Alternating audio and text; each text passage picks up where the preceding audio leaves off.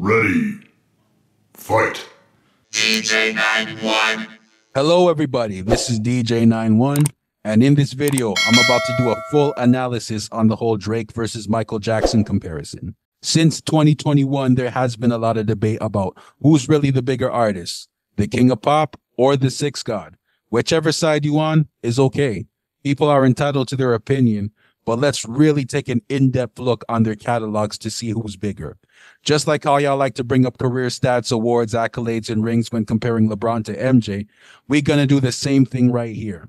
Starting with Michael Jackson. And if you're Team Drake, you might want to hold your breath on this one because I'm about to cook. Michael Jackson's music career spans at least four decades. Started with his brothers in a group called the Jackson Five. Their first album came out in 1969. He was 11 years old at the time. Out the gate, the group had four straight number one hits on the Billboard chart. Even at a very young age, as the baby of the group, Michael was also the star of the group. During his time with the Jackson 5, his solo career would begin to launch. He had dropped his first album, Got to Be There, in 1972 at the age of 14, which produced two top five hits, Rockin' Robin and the title track Got to Be There. Later that same year, he dropped his second album called Ben, and the single Ben was his first number one hit. At the age of 14, how much people who have been in the music industry can say they had a number one hit that early in their life? Not much. That made him the third youngest solo artist to have a number one hit behind Stevie Wonder and Donny Osmond. Michael Jackson during this time became a teen pop star. Despite the hits, he didn't have the record sales to back it up. The first four albums were a flop. Motown Records had a hard time selling Michael Jackson to the masses, but the late 70s would begin an upward trajectory for his career. Him, along with the Jackson 5, had already left Motown Records and then signed with Epic Records. With the new label, he met producer Quincy Jones, and the rest was history. In 1979, he dropped his fifth album, Off the Wall. This album would be his breakthrough album. It peaked at number three on the Billboard chart, went nine times platinum, and spawned two number one hits don't Stop Till You Get Enough, and Rock With You. And also won a Grammy. He was 21 years old at the time with already three number one hits under his belt as a solo artist. This was a prelude of what was to come of Michael Jackson in the 80s that would separate him from everyone else in the world of music forever. And of course, he was off to a bit of a slow start in the 80s. Just a little duet with Paul McCartney, The Girl Is Mine, which almost reached number one. But 1982, Michael would plant a seed that would make earth shattering history. In November that year, he dropped his sixth album called Thriller, which commercially was a slow burner at first, with The Girl Is Mine being the only single released at the time. But once 1983 came around, it was game over for everybody. The atomic bomb had exploded. The second single, Billie Jean, was a number one hit, and the album started selling like crazy. It spread like wildfire. As a matter of fact, it spread like the coronavirus. At its peak, it sold over a million copies worldwide per week.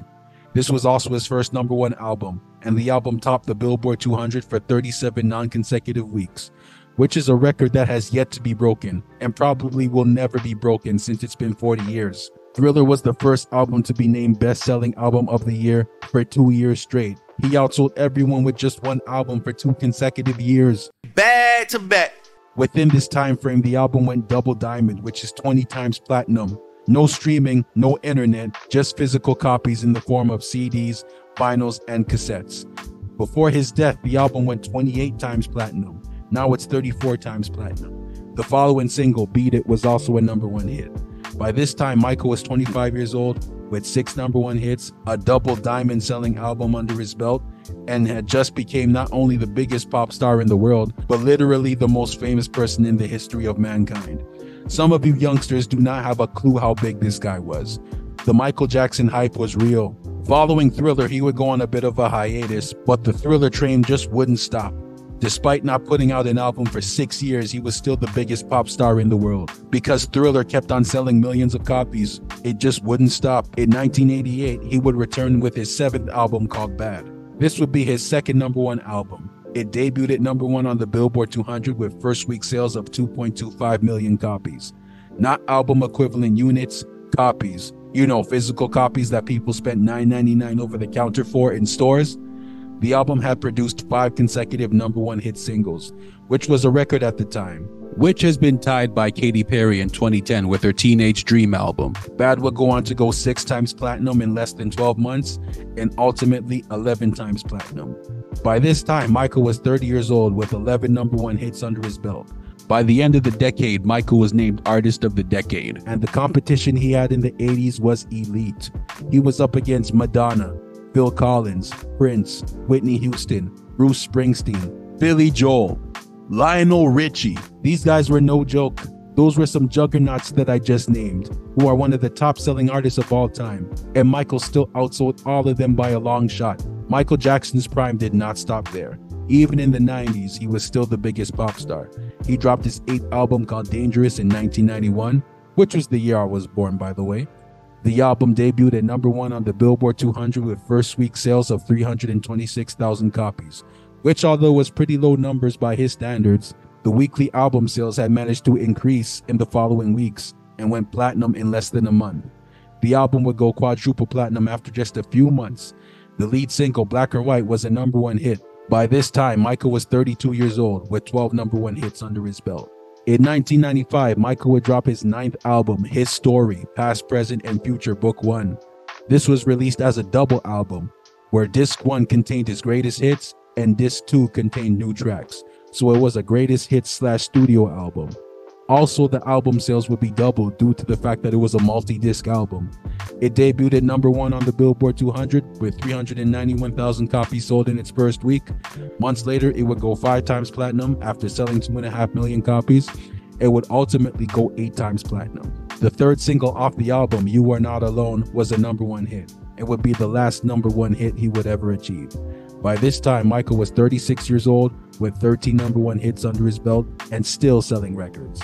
After this album, he would go on a six year hiatus until 2001 when he dropped his 10th and final album called Invincible. Although his popularity had started to decline, the album debuted at number one on the Billboard 200 with first week sales of 363,000 copies, proving to the world he was still that dude and can hang with the rest of them. Michael now had a number one album in at least three different decades. The album would go double platinum in just a few months, Although he wouldn't top the charts with the singles again, he was still able to adapt with the times and crank out more hits. He went from working with Quincy Jones to working with Rodney Jerkins, aka Darkchild, who was one of the biggest producers at the time. Rock My World was a top 10 hit and Butterflies was a top 15 hit. This marked the end of his legendary run. By this time, Michael was 43 years old with 13 number one hits, 26 top 10 hits, 13 Grammys, a few hundred million copies sold worldwide, and the best selling album of all time in the pre digital era. All right, Team Drake, you can breathe now. Now let's get into his catalog. This might not be a lopsided battle, we'll see. Drake's music career so far spans at least two decades. He started off as an actor before music, so just like Michael, he's also been on TV since a very young age. He was an up and coming actor trying to make it on the rap scene. While acting on a show called Degrassi, he released his first mixtape called Room for Improvement in 2006 at the age of 20 while unsigned. The following year, he would release a second mixtape called Comeback Season. With this mixtape, he started to make a little noise. Following this mixtape, he met producer Noah Shebib, aka 40, which is just like when Michael met Quincy. Meeting 40 would be huge for Drake going forward. February 2009, his third mixtape, So Far Gone, was released, and the rest was history. Not only was the mixtape critically acclaimed, it would be the beginning of his illustrious music career. Off the mixtape spawned two major hit singles Best I Ever Had, which reached number two on the Hot 100, and Successful, which was a top 20 hit. Following this newfound success, major labels were in a bidding war with Drake, but he ended up signing with Lil Wayne's Young Money Entertainment, which was an imprint of Cash Money Records at the time, with distribution by Universal Motown. Drake would make more noise in 2009. He dropped another single called Forever, which features Kanye, Lil Wayne, and Eminem. The single was a top 10 hit. Not gonna lie, Drake had a very solid rookie season. He was 23 years old with two top 10 hits and a song with Ye, Weezy, and M on it. This was a prelude of what was to come of Drake in the next decade. In 2010, he dropped his first album, Thank Me Later, It debuted at number one on the Billboard 200 with first week sales of 447,000 copies, which was very impressive numbers for a rapper's debut album. It went platinum in a month and would ultimately go quadruple platinum. The first single, Over, was a top 20 hit. The second single, Find Your Love, was a top 5 hit. The third single, Miss Me, was a top 15 hit. And the final single, Fancy, was a top 30 hit. Also, a forgotten fact that year, Drake had a number one hit as a featured artist on What's My Name with Rihanna. By this time, Drake was 24 years old with a few hits and a number one album under his belt. He was just getting started. 2011, he would drop his second album, Take Care, which debuted at number one on the Billboard 200 with 631,000 copies sold in the first week. The album would go platinum in two months and ultimately go eight times platinum. The album would also win a Grammy. The album had seven singles, with four of them being top 20 hits and two of them being top 10 hits. By this time, Drake was 25, sitting on 25 mil. Also, with two number one albums and a Grammy under his belt. In 2012, Drake became a label owner and started OVO Records with 40, which operated as a subsidiary label of Warner Records, while still signed to Young Money. In 2013, he would drop his third album, Nothing Was the Same, it debuted at number one on the Billboard 200 with first week sales of 658,000 copies. The album went platinum in just a few months and would ultimately go six times platinum. The first single, Started from the Bottom, was a top 10 hit. The second single, Hold On We're Going Home, was a top 5 hit. The third single, All Me, was a top 20 hit. And the other four singles didn't even crack the top 50. By this time, Drake was 27 years old with three number one albums. 2015 would be a monster year for Drake. He would drop a surprise mixtape in February called If You're Reading This, It's Too Late, which debuted at number one on the Billboard 200 with first week sales of 535k album equivalent units. This would be the beginning of the streaming era, where streams counted toward sales, with 1,500 streams equaling one copy sold. Also, 92% of the mixtape's first week sales were traditional album sales. The mixtape went platinum in six months and would ultimately go quadruple platinum but no hits really materialized. Only one of the songs off the mixtape managed to crack the top 50. However, it was at this time where Drake finally became the biggest rapper on the planet. Before this, Eminem still had the number one spot, while Drake was still in second place when he dropped his first three albums. But 2015, Drake would surpass Eminem and was now on his way to becoming the biggest artist in the world. In the summer, he would drop a non album single called Hotline Bling, which reached number two on the Hot 100. Later that year, he dropped a collab mixtape with Future called What a Time to Be Alive. This mixtape topped the Billboard 200 with first week sales of 375k album equivalent units. The mixtape went platinum in six months. The lead single Jumpman was almost a top 10 hit. By this time, Drake was 29 years old with five number one albums, but still no number one hit as a lead artist. Six years into his career, he had yet to achieve that elusive number one hit that he had been chasing for a while. So far, the only number one hit he had was a feature, but that would finally change in 2016. He dropped his fourth album called Views in April of that year. This album would turn out to be the best selling album of his career. It topped the Billboard 200 with first week sales of over 1 million album equivalent units, with 85% of the album's first week sales being traditional album sales, making him the fourth rapper to do 1 million the first week. Eminem, 50 Cent, and Lil Wayne have done that before, the album went four times platinum by the end of the year. It would ultimately go eight times platinum. The first single off the album, One Dance, would end up being Drake's first number one hit. Finally, at this point in his career, Drake can say he finally has a number one hit for real. That same year, he also had a number one hit as a feature with Rihanna on the song called Work. By this time, Drake was 30 years old with six number one albums and three number one hits and was just starting to break streaming records. In 2017, he dropped a mixtape called More Life, which topped the Billboard 200 with first week sales of 505k album equivalent units, with nearly half of the first week sales being pure album sales. The mixtape would go double platinum by the end of the year and would ultimately go four times platinum. The mixtape had five singles, with three of them cracking the top 10. By this time, Drake was 31 years old with seven number one albums, more streaming records broken, but still looking to add more number one hits to his catalog. In 2018, he would start the year off with the release of a two track EP called Scary Hours. One of the tracks was God's Plan, no pun intended. This single would top the Hot 100, making it Drake's fourth number one hit. This single would be added to his next album, Scorpion, which was released in the summer.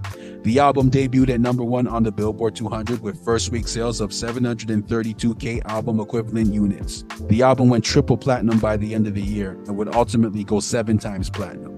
This album would contain the most number one hits out of his entire catalog. The next two singles, Nice for What and In My Feelings, were number one hits. That's three number one hits for the year off one album. Very, very impressive. The album also had a Michael Jackson feature on it too. Interesting. That same year, he also gained another number one hit as a feature on Sicko Mode with Travis Scott. By this time, Drake was 32 years old, with eight number one albums, seven number one hits, and that would be his last album released in the 2010s. By the end of 2019, Drake was named Artist of the Decade by Spotify and had the Guinness World Record for longest streak on the Billboard Hot 100, with 431 consecutive weeks, which lasted from 2009 to 2017, which is crazy. To be on the Hot 100 for eight years straight, that's a monumental achievement. Now to this decade, Drake would maintain his status as the biggest artist in the world. In 2020, he dropped a mixtape called Dark Lane Demo Tapes, which was a flop, just a bunch of unreleased songs and SoundCloud tracks. It debuted at number two on the Billboard 200 with first week sales of 223k album equivalent units. It failed to even reach gold status, but this mixtape was just a compilation, so there was no expectation for it to do well. However, the lead single, Toosie Slide, was a number one hit, making it Drake's eighth number one hit. In 2021, Drake would receive another Artist of the Decade award, this time by Billboard. The award was delayed by a year due to COVID 19. That same year, he put out more bags of hits. He released an EP called Scary Hours 2 with three tracks What's Next, Wants and Needs, and Lemon Pepper Freestyle. All three tracks would make the one, two, three slots on the Hot 100, which is crazy. Later that year, he put out his sixth album, Certified Lover Boy. It debuted at number one on the Billboard 200 with first week sales of 613k album equivalent units. The album has gone triple platinum. The first single, Way Too Sexy, was a number one hit. The second single, Girls Like Girls, was a number two hit on the Hot 100. The third single, Knife Talk, was a top five hit. All the tracks from the entire album charted within the top 40 of the Hot 100, which was history. By this time, Drake was 35 years old with 10 number one hits and 10 number one albums under his belt. This is when the whole Drake Michael Jackson debate even started. And for what reason, I don't know, because at this time he wasn't even one away from Michael yet. So beat it. In 2022, Drake would keep the hits coming and flood the market. He started off the year receiving a number one hit as a feature on Wait For You with Future and Tems, making it his 11th number one hit. He then put out his seventh album, Honestly Nevermind. The album debuted at number one on the Billboard 200 with first week sales of 204k album equivalent units, which turned out to be the lowest first week sales of his career, but it had nothing to do with age, him falling off, or being washed. He was trying something new by doing EDM music for this album. People shitted on this album at first, but the critics said otherwise and praised the album. People would eventually come around and start liking the album, realizing they had reacted too quickly instead of digesting the music. The album would go platinum. The album would also have a couple tracks that charted within the top 10. But one of the singles, Jimmy Cooks with 21 Savage, which was the final track on the album, was the number one hit, since it didn't sound like the rest of the album, which was a good strategy by Drake. Following this, he would end up dropping a collab album with 21 Savage called Her Loss. The album debuted at number one on the Billboard 200 with 404k album equivalent units and would go on to go double platinum. Although the album failed to produce any number one hits, eight tracks had managed to chart within the top 10 of the Hot 100. The first single, Rich Flex, nearly topped the Hot 100, reaching number two. By this time, Drake was 36 years old with 12 number one hits and 12 number one albums under his belt. In 2023, Drake would drop his now latest album, For All the Dogs. The album debuted at number one on the Billboard 200 with first week sales of 402k album equivalent units. Since then, the album has gone platinum with over 1 million units sold. Thanks to this album, the Drake Michael Jackson debate would catch fire again. Before the album was released, one of the singles, Slime You Out with SZA, was the number one hit on the charts, which tied MJ's record with 13 number one hits and the fourth single, First Person Shooter with J. Cole, was also a number one hit. Even though this is the track where Drake said, I'm one away from Michael, beat it, he ended up passing Michael with this single. As of now, Drake is 37 years old with 14 number one hits, 76 top 10 hits, 13 number one albums, 5 Grammys, and 170 million records sold. Not gonna lie, Drake is on a legendary run. And as far as music history, he's already one of the greats and is still killing it. He got more number one hits than Taylor Swift, Katy Perry, Bruno Mars, The Weeknd, Usher, Cardi B, Adele, Justin Timberlake, Lady Gaga, Justin Bieber, Ariana Grande, Madonna, Whitney Houston, Beyonce, and Eminem. I'm also a Drake fan, and as a Canadian myself, I'm happy to see a rapper coming out of this country and from the city of Toronto achieving the awards and accolades that he's achieved. And I believe he's without a doubt the best hit making rapper of all time. And with the uncertain future of today's rap music, we'll never see another Drake again in our lifetime. But let's be real here. He'll never be bigger than Michael Jackson, ever. You know why? Here's why. He's not even close. Michael has over a half a billion records sold, and Drake has yet to break the 200 million mark. He might have more slaps than the Beatles, but he ain't sold as much as them. And also, let's break down the number one hits. Yeah, Drake got more number one hits. He got 14, Michael got 13, blah, blah, blah. But Drake needed features for most of his number ones. Slime You Out is a whack song and would have been more whack if SZA wasn't on it. It only went number one because of streams. I will acknowledge the fact that he's been able to get five number one hits without a feature, and I do commend him for that. But every other time, Drake either needed features or to be a feature to get number one hits. Michael, on the other hand, didn't need anybody. Only one of his number ones was a duet. Every other number one he had was by himself. Drake also needed big names for his number ones. He needed Rihanna, Travis Scott, 21 Savage, and Future. Michael didn't need anyone to top the charts. And not to mention the fact that Rihanna, who also has 14 number one hits, did that in a shorter time span. Where were the Michael Jackson comparisons with that? Also, Mariah Carey, who has the record for most number one hits, didn't even get Michael Jackson comparisons. And she sold more records than Drake as well. If he hasn't even surpassed Mariah Carey, how does that qualify him as being bigger than Michael Jackson? How? Explain that to me. Also, it's different eras. Michael's era was just CDs, vinyls, cassettes, TV, and radio. With radio, Drake had digital downloading, streaming, and social media to his advantage, which has made it easier for artists to get more exposure and get more top 5, top 10 hits on the Hot 100 chart. However, here's where Drake scores some points in my opinion. He never had a slow start to his career. Out the gate, he was a platinum selling chart topping artist and did it consistently for almost 15 years now. While MJ didn't start going platinum until he released his fifth album. Also, Drake is a label owner, so he was able to control his destiny more, while MJ never took that step in his career. And like I mentioned before about Drake being from Toronto, he reps his city to the fullest. And it was because of him why more people wanted to travel to Toronto. He was once reportedly responsible for 5% of the city's annual tourism economy. Rarely do you ever see any artist have that kind of impact on the city where they come from. But all in all, that doesn't take away from the fact that Michael is still the bigger artist. No shade to those who disagree, but you got to do your research here. Like I said, I'm born in 1991. I was finishing high school when Drake first came out, so I've been able to witness his progress and ascension in real time. For MJ, I had to do some research since I was born by the time the Dangerous album came out. Yet he was still a household name during my childhood. And to be honest, I didn't really appreciate the greatness of Michael Jackson until he was gone. After digging and doing my research, I've realized how much of a big deal he was. I even had some high school friends at the time who had to educate me that Michael was that dude, even while Michael was still alive. For those who still feel like Drake is bigger than Michael Jackson, then you gotta consider these things while comparing the two. One of these artists invented the moonwalk, the other one didn't. One of these artists has done the Super Bowl, the other one hasn't. One of these artists has their own video game, the other one doesn't. One of these artists had people fainting at his concerts, the other one didn't. One of these artists has the best selling album of all time, and the other one doesn't. Period. Hope you enjoyed the video. Like, comment, share, and subscribe. Feel free to share your thoughts and opinions below. I'm done, and I rest my case. Michael wins. DJ 91.